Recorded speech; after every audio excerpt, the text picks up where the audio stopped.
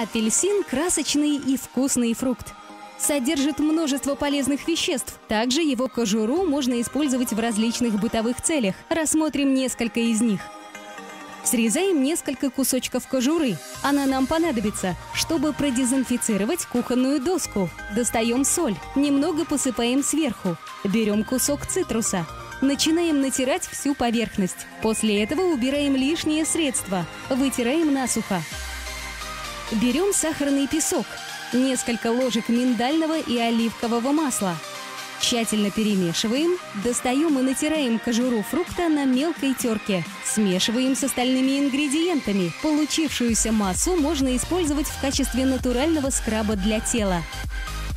Следующий вариант отлично подходит для использования в кулинарии. Складываем в миску, насыпаем соль, добавляем черный молотый перец, тщательно перемешиваем. Эту смесь можно употреблять в качестве пикантной приправы. Если добавить высушенные корки в заварку, чай приобретает приятный цитрусовый аромат. Напиток становится не только полезным, но и очень вкусным. Добавьте кожуру при мытье посуды. В миску, тазик или даже в бытовую технику. Наливаем воду, несколько капель жидкости.